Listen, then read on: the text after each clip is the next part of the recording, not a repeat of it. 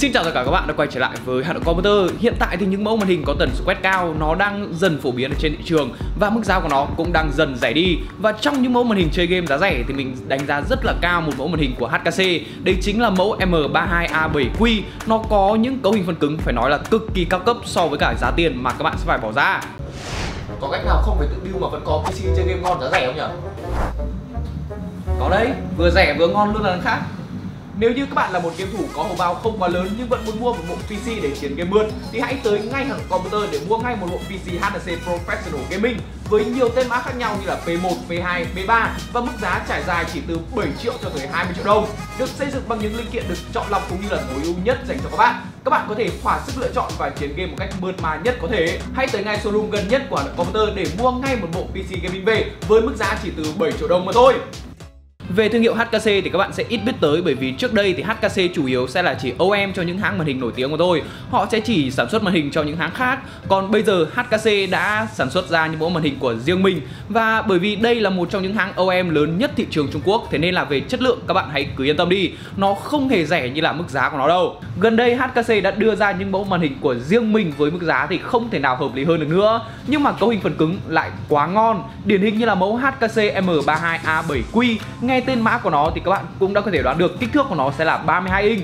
Nhưng 32 inch thì nó cũng bình thường thôi, bởi vì rất nhiều hãng cũng có thể làm được điều này. Nhưng mà điểm đặc biệt của HKC M32A7Q đây chính là nó có kích thước 32 inch. Nhưng mà kèm theo đó nữa là tấm nền cong, nó giúp các bạn có thể quan sát dễ dàng hơn và ít bị mỏi mắt, bởi vì màn hình nó có kích thước khá là lớn. Chưa hết, nó còn có độ phân giải là 2K 2560 x 1440 cùng với tần số quét là 144Hz những thông số vật cứng nó quá là ấn tượng cho mức giá 9 triệu đồng mà các bạn sẽ phải bỏ ra. Nếu như trước đây với 9 triệu đồng, Nếu như các bạn mua màn hình 32 inch 2K thì chắc chắn nó sẽ không có 144Hz hoặc là các bạn mua 3 inch 144Hz thì chắc chắn nó sẽ là không có 2K mà nếu như các bạn mua một mẫu màn hình có cả ba thông số trên ấy thì chắc chắn mức giá của nó sẽ phải là mười mấy triệu cơ, không có 9 triệu đồng đâu và bây giờ thì các bạn đã có thể mua một mẫu màn hình có cả ba thông số trên. Đấy chính là 32 inch này 4K, à 2K và 144Hz mà mức giá chỉ có 9 triệu đồng mà thôi.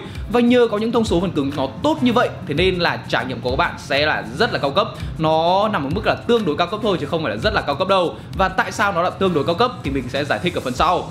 Về thiết kế tổng quan của mẫu màn hình này thì mình có thể nói nó là ổn trong tất cả những mẫu màn hình gaming hiện tại. Nó vẫn chưa đẹp được như là của Asus ROG hay là Dell Alienware Nhưng mà trong tầm giá 9 triệu đồng, các bạn sẽ không thể nào tìm được một mẫu màn hình gaming của hai thương hiệu này đâu. Mà trong thiết kế của HKC so với cả những đối thủ như là ViewSonic hay là BenQ thì mình cảm giác như là HKC nó vẫn nhỉnh hơn.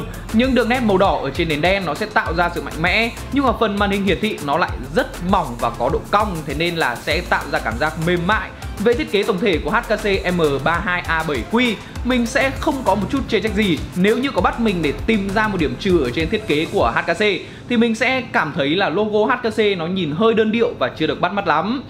Phần chân đế được làm ổn, nó đủ để gánh trên mình một mẫu màn hình có kích thước là 32 inch. Khi mà mình làm rung bàn ấy thì nó cũng không bị rung lắc nhiều, độ ổn định của nó là rất tốt. Nhưng mà có một điều mình không thích ở trên mẫu màn hình của HKC đấy chính là khả năng điều chỉnh góc của nó thì lại rất là kém.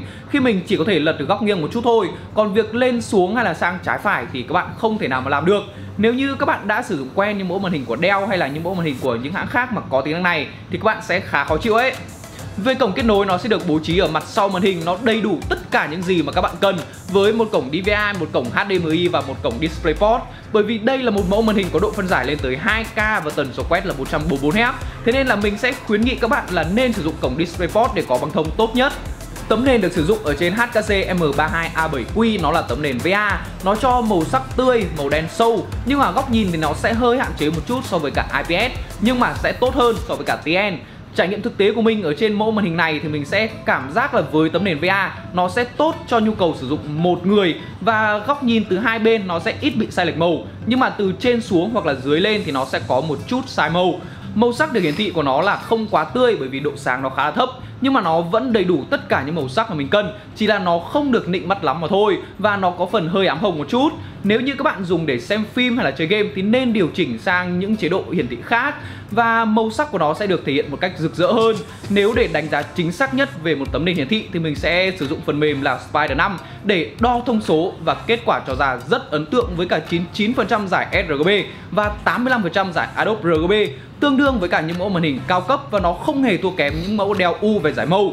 Nhưng giải màu rộng thôi là chưa đủ. Mẫu HKC M32 A7Q nó có một vấn đề về độ sáng đấy chính là nó chỉ dừng lại ở 205 nit mà thôi.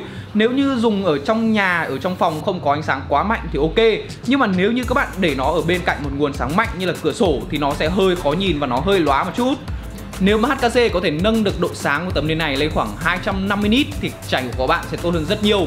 Nhưng mà các bạn vẫn có thể khắc phục được vấn đề này bằng cách là đặt màn hình ở một góc mà ít ánh sáng mạnh chiếu vào. Và cũng chính vì lý do này mà ở đầu video mình đã nói là các bạn sẽ có một trải nghiệm tương đối cao cấp ở trên một mẫu màn hình giá rẻ. Tuy độ sáng có hơi thấp, nhưng mà độ tương phản vẫn có thể đạt là 1160 chia 1 Nó không hề tệ một chút nào, Chỉ cần các bạn sử dụng những thiết bị cân chỉnh là các bạn vẫn có thể xử lý đồ họa một cách chuyên nghiệp trên mẫu màn hình này. Kết hợp với cả chi tiết từ độ phân giải 2K và kích thước lớn là 32 inch các bạn sẽ có một không gian làm việc rất là rộng rãi và thoải mái. Nếu mà các bạn ngần ngại vì là màn hình 32 inch nó sẽ bị rỗ hay là chi tiết không cao thì các bạn hãy cứ yên tâm đi. Bởi vì đây là độ phân giải 2K chứ không phải là Full HD Mà để có góc nhìn tốt với cả những mẫu màn hình 32 inch thì các bạn cũng sẽ phải ngồi khá là xa nên là hình ảnh của nó sẽ không rỗ đâu. Nếu mà các bạn ngồi sát vào chắc chắn các bạn sẽ vẫn thấy rỗ. Nhưng mà ngồi sát với cả những mẫu màn hình 32 inch nó sẽ rất là hại mắt. Mình khuyên các bạn là nên ngồi ở khoảng cách từ 80cm trở lên đây là một mẫu màn hình gaming, thế nên mục đích chính của nó sẽ là sử dụng để chơi game. Và trong quá trình test game ở trên mẫu màn hình này thì mình cảm nhận là với kích thước 32 inch thì mình sẽ phải ngồi xa một chút thì mình sẽ có góc nhìn tốt hơn cũng như là chơi game đã hơn. Nếu mà mình ngồi gần thì nó sẽ hơi mỏi mắt và mỏi cổ một chút, mặc dù là nó đã cong rồi. Khi chơi Liên Minh hay là Dota 2 nhờ có kích thước lớn và độ phân giải cao nên là mình có thể quan sát map rất tốt. Và cùng với cả tần số quét cao nữa, nó làm cho những pha combat rất mượt và bắt mắt. Chuyển qua CSGO thì mình thấy nó hơi to, nó hơi to quá Và nó làm cho mình khó tập trung. Mặc dù chuyển động trong game thì rất là mượt. Nếu như chuyển qua những tựa game chiến trường có bản đồ rộng như là PUBG hay là Battlefield Thì nó sẽ đã hơn rất nhiều. Và lúc này các bạn sẽ có cảm giác góc nhìn được mở rộng ra và hòa mình vào không gian game. Ngoài ra với những tựa game nhập vai góc nhìn thứ ba đồ ảo khủng như là The Witcher 3 chơi cũng rất là đã bởi vì kích thước lớn này, độ phân giải cao và đồ họa trong game nó thể hiện rất là chi tiết cỏ cây hoa lá hay là những chi tiết ở trên bộ giáp nó đẹp miễn bàn luôn với một mẫu màn hình chơi game có kích thước là 32 inch, độ phân giải là 2K cùng với tần số quét là 144Hz như là HKC M32 A7Q thì chắc chắn các bạn sẽ không phải ngán bất kỳ một tựa game nào mà các bạn có thể chơi tốt tất cả những tựa game hiện nay.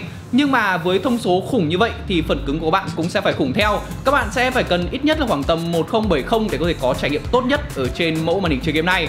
Và vừa rồi mình đã đánh giá cho các bạn một mẫu màn hình chơi game có giá rất rẻ là khoảng tầm 9 triệu thôi. Nhưng mà phần cứng của nó mang lại thì nó quá là ngon. Ý kiến các bạn như thế nào thì hãy comment phía bên dưới nhá. Còn bây giờ thì xin chào và hẹn gặp lại.